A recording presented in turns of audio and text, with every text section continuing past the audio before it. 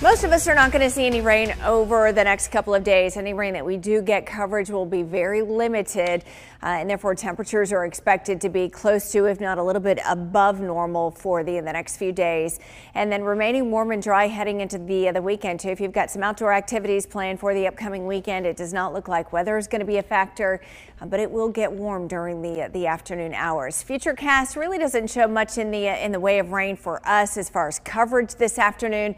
We do have a a stalled frontal boundary really across the south central corner uh, or uh, area of the state. And so with it being south of us, likely the, the better chance for some showers and even a few afternoon storms will likely be south of the boundary. As you go further north, there's still enough moisture that maybe we could see a few spotty showers developing as we head into this afternoon and this evening. But as we've mentioned, coverage will be pretty limited and that may be actually a little bit pessimistic.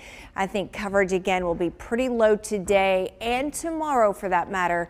And then by uh, Thursday, and you can see Friday, Saturday, rain chances really start to, to drop off. 62 Gadsden this morning feels pretty good in some of the north and northeastern spots, uh, some of those uh, usual areas.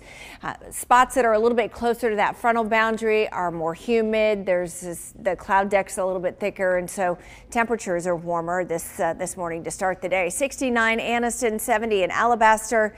Close to 70 in Clanton, just not a lot of rain showing up on the map. We've had a few very light rain showers down here across some of the, uh, the southeastern counties, very close to Lake Martin, Alex City, Eclectic, those areas. And you can see some of the clouds showing up on the satellite and radar composite too. A lot of those clouds should thin a bit as we head into this afternoon. And so we'll go with more clouds and sunshine in a lot of locations this morning. But I think we'll have a good supply of sun like we did yesterday at times during the afternoon. Mid to upper 80s expected. And again, a preview of the weekend. It's going to be sunny and warm and dry both days with those temperatures in the mid to upper 80s. So really just a few showers possible the next two days, then drying out through early next week. Back to you. Thanks, Steph. 547 charges now.